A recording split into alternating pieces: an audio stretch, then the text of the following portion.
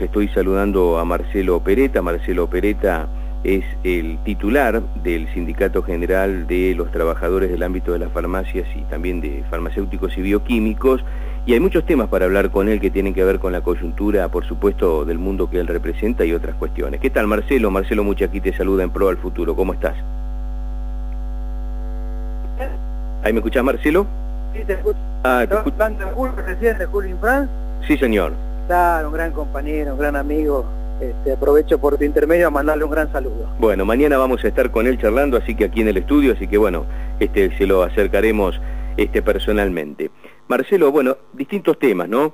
Que, queremos charlar contigo, este, pero hay uno de ellos que nos preocupa mucho, ¿no? Muchos oyentes que nos acompañan son, por supuesto, jubilados, nos están escuchando a esta hora del día, al final del día, y por allí veíamos que, eh, bueno, hay, algún acuerdo con, con Pharmacity, que es una, en realidad es una farmacia que parece más un supermercado que una farmacia, pero lo cierto es que aparentemente el PAMI lo sumaría como un prestador, digamos, pleno como el resto de las farmacias. ¿Esto es así? ¿Se está pensando en eso?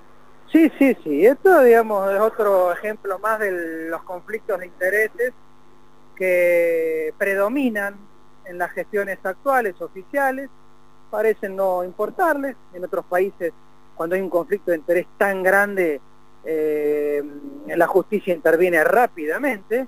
Aquí me refiero al vicejefe de gabinete, que digamos tiene acciones en Pharmacity, y de, participar como pleno miembro prestador de PAMI, con lo cual la gente, obviamente, los afiliados van a ser atendidos en PAMI, eh, perdón, en Pharmacity, no en las farmacias chicas, eh, entiendo yo que van a ser mm, mal atendidos porque van a, digamos, haber una demanda, una sobredemanda que después este, no va a poder ser eh, adecuadamente eh, atendida con suficiente cantidad de farmacéuticos porque no tienen para la cantidad que necesitan, porque la proporcionalidad de, de locales que ellos tienen es insuficiente para la cantidad de farmacéuticos que tienen. Entonces es indudable que eh, eh, no va a haber una buena prestación, lo van a tener ahí a los vuelos sentados si se quiere, porque bueno, pondrán sillas seguramente para atender, pero eh, se va a ver, digamos, devaluada la prestación y la atención del abuelo y va a tener que ir al, al, centro de las grandes ciudades, porque claro, están ubicadas estos locales en los centros, mm. no en los, en los barrios, entonces la farmacia que tenía cerca de su casa eh, seguramente eh, por este área de flujo de, recetas probablemente tiene que cerrar. En fin, el equilibrio que eh, hoy dentro de todo, dentro de lo mal que está este convenio, porque hay que cambiarlo indudablemente, pero tenía este equilibrio entre, me refiero a las farmacias grandes que vos decís, estas de cadena, de shopping y la farmacia de barrio pequeña, se perdería eh, y, bueno, en definitiva esto no era el, cambio que se proponía para el convenio, sino el cambio tiene que ver con incluir más medicamentos, con que paguen menos porcentual eh, los jubilados, con que el precio máximo de los medicamentos se ponga para que no se disparen eh, irracionalmente, es decir, sin control como es ahora, a criterio caprichoso de los laboratorios. En fin, eso es lo que hoy parece que va a suceder según las últimas novedades que tenemos. Recordemos que este convenio eh, vence ahora a fin de mes, por tanto estamos esperando la renovación para estos días. ¿no? Y en general, ¿cómo está el tema de entrega de medicamentos a través del PAMI, que era otra preocupación que se venía dando? Bueno, cada tanto hay demoras, cada tanto hay faltas, pero en términos generales eh, eh, está el convenio cumpliéndose en el sentido que no se pagan las prestaciones a los 30 días o 60 días, se pagan a los 90, 120 días, pero bueno, se terminan pagando. Eh, y por supuesto en la farmacia de farmacéutico siempre atención y todo eso, ¿no es cierto? Eh, recordemos que el convenio más grande y todo. Eh, pero indudablemente hay muchas mejoras que hacer, hay que poner receta electrónica, firma digital del médico del farmacéutico, o sea, tecnología para transparentar el servicio, para evitar estos delitos que a veces algunos dueños de farmacias este, entran con las insulinas o con los o con los, los, productos que son al 100%, ¿no es cierto? Con, falsificando datos de, pacientes que muchas veces son fallecidos.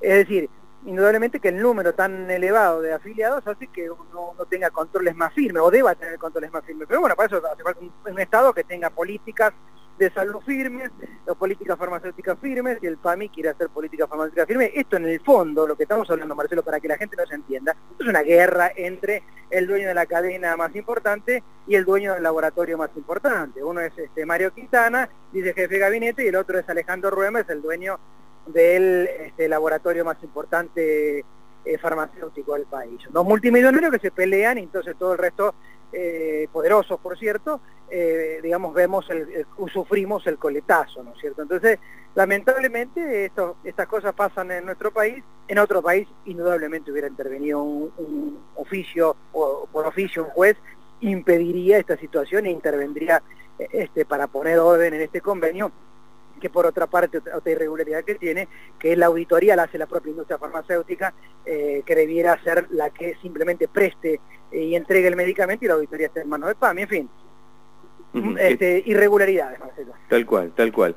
Eh, Marcelo, ¿cómo estás analizando el presente de la CGT este, a partir de lo que fue la marcha días atrás y, este, bueno, Pablo Moyano diciendo por estas últimas horas que la CGT como está ya no, no existe más, digamos, palabras más, palabras menos, ese es el concepto.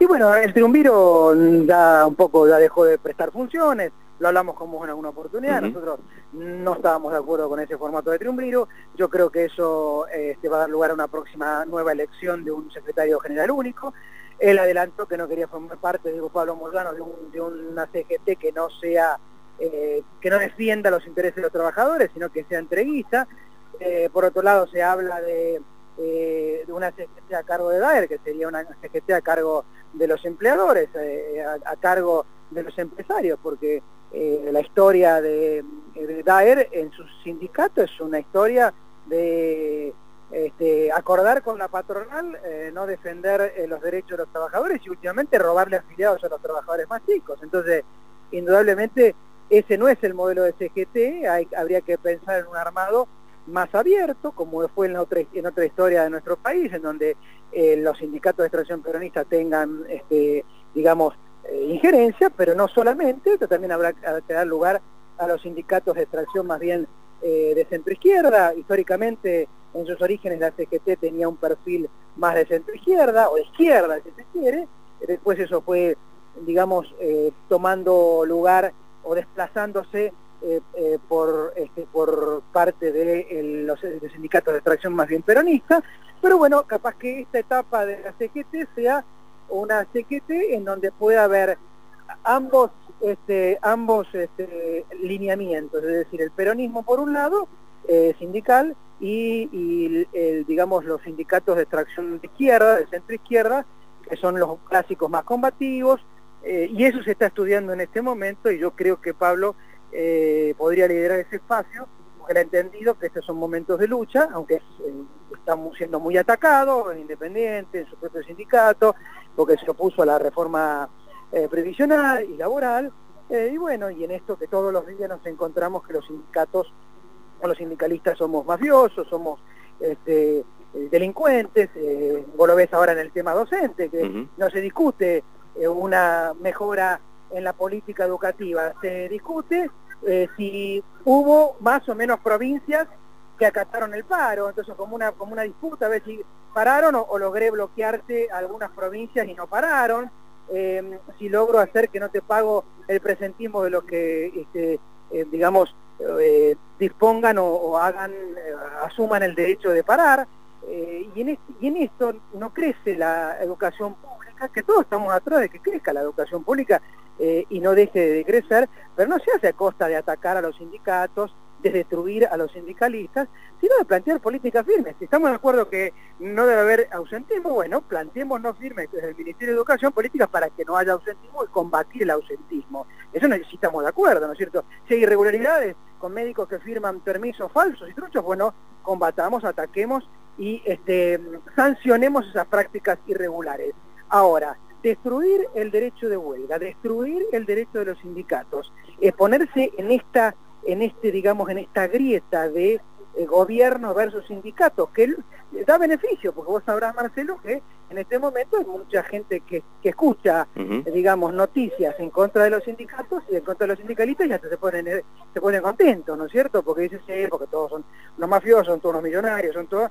Y no es así, ¿no es cierto? Habrá algunos más ejemplos, pero hay una gran mayoría de sindicalistas que trabajan por sus trabajadores y que hacen un gran esfuerzo por lograr algo, alguna, alguna mejora para sus trabajadores en un mundo dominado por los empresarios en donde no te dan nada, nunca nos dieron nada, menos ahora que tienen un gobierno que los acompaña, que el mismo gobierno ni siquiera puede contener a sus propios empresarios porque los trató de llorones y, digamos, y que no quieren competir, porque eso fue lo que hizo el ministro Cabrera eh, hace tres o cuatro días. Entonces, frente a esos empresarios que hoy están agrandados porque el gobierno los apoya por un lado, porque son amigos, son del palo, y los sindicatos no se pueden atrever a decir una palabra de más porque o los intervienen o nos meten presos eh, y no conseguimos absolutamente nada. Entonces, es una situación muy crítica en donde los, trabajadores indudablemente empiezan a perder derechos y, a medida que pasa el tiempo eso este, va a estar aún más grave, ¿no, Marcelo?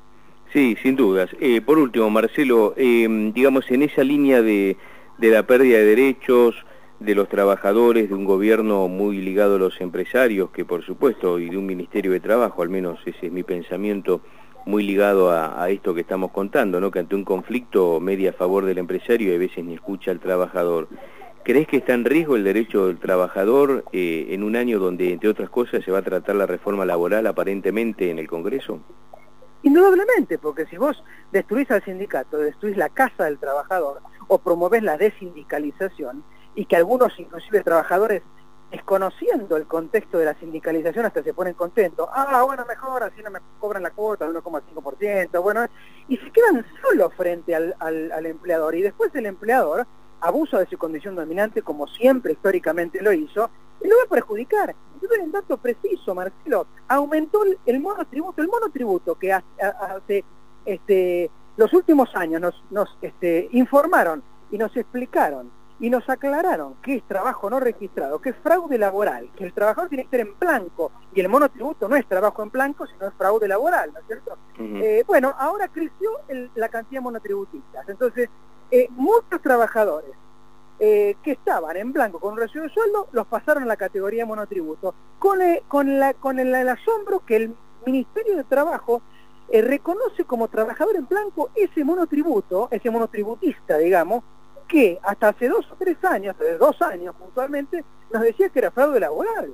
Entonces, eso es, muy grave y eso es una concreta pérdida de derechos eh, y muchas otras, además de las fuentes laborales que se pierden, las unidades estatales eh, que digamos que dependen, por ejemplo, del Ministerio de Ciencia y, y, bueno, y cosas que eh, conocemos todos y que son lamentablemente noticias desagradables que, nos enteramos y que son pérdidas de fuentes laborales y que no se recuperan en inmediato. Esos trabajadores no que salen de ahí y automáticamente son reabsorbidos por el Estado o por su sector privado, no, tendrá que esperar y no sé en qué tiempo van a poder reinsertarse. Entonces, eh, es una situación difícil, al mismo tiempo ve páginas de todo tipo, no solamente las farmacéuticas, las alimenticias, eh, aumentan sus productos lo que les parezca este, fijan sus condiciones sin que nadie les ponga techo. Nosotros nos ponen techo en las paritarias, a ellos no les ponen techo en los precios.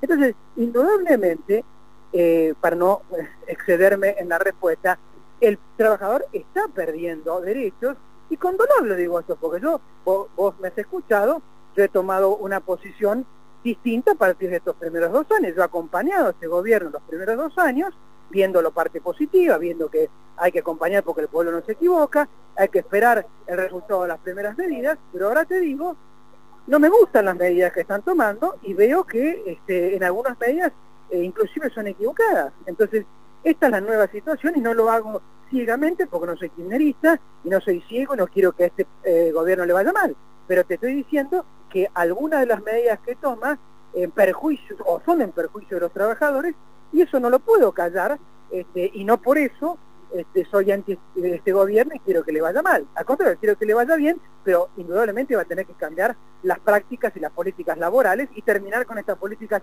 antisindical que le va a hacer mal al propio gobierno. Me da la impresión que esto eh, lo perjudica también en el seno de su propio de su propia gestión.